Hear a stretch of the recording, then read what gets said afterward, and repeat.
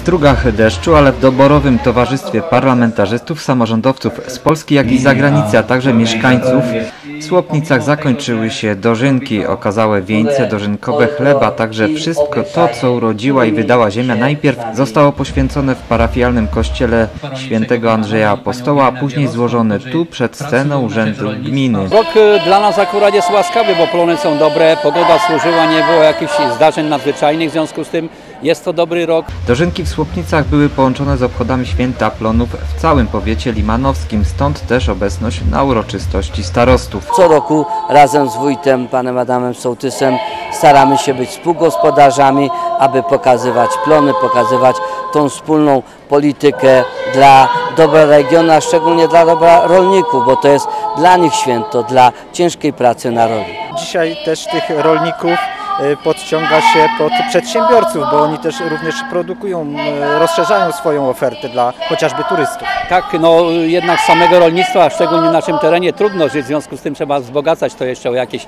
rzemiosło, jakieś wyroby, jakieś przetwórstwo, y, produkty regionalne, no żeby jakoś móc się znaleźć w tym obecnym czasie. Tegoroczne dożynki miały bardziej symboliczny charakter, gdyż były połączeniem rolniczego święta z uczczeniem współpracy miast i gmin partnerskich z Węgier, a także ze Słowacji. Začalo sa to školou, kde je asi najširšia spolupráca, kde naši žiaci spolu už medzi sebou chodia tuto, oni chodia do Sopnic, zo Sopnic zasa ku nám chodia na pravidelné návštevy každý rok.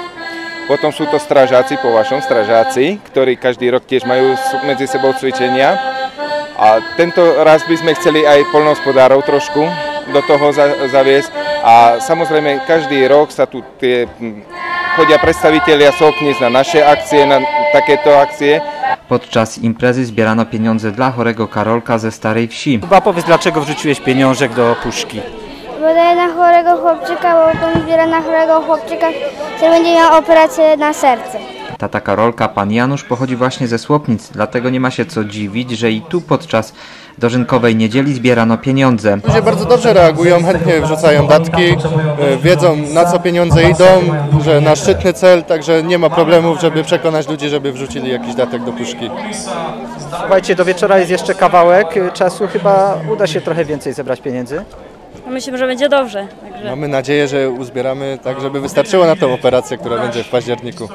A wracając do dożynek, tradycyjnie już wyróżniono najlepszych hodowców i producentów rolnych z gminy Słopnice. Był też konkurs, a właściwie wyścig sołectw o miano tego najlepszego. Nie obyło się również bez pokazu walk rycerzy, który został zaprezentowany przez zaproszonych gości ze Słowacji.